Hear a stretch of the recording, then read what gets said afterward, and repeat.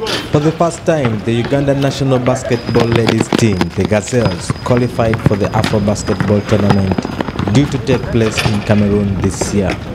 We meet Judith preparing for the games. I have played basketball for 10 years now, from my high school. This is going to be my 10th year.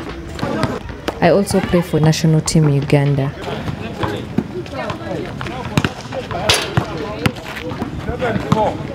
She represented Uganda in Russia, Brazil, and France, but wants to continue with her education before she can go explore her heights in basketball. I did my bachelor from Kampala International University, so I came here to play basketball to do my masters.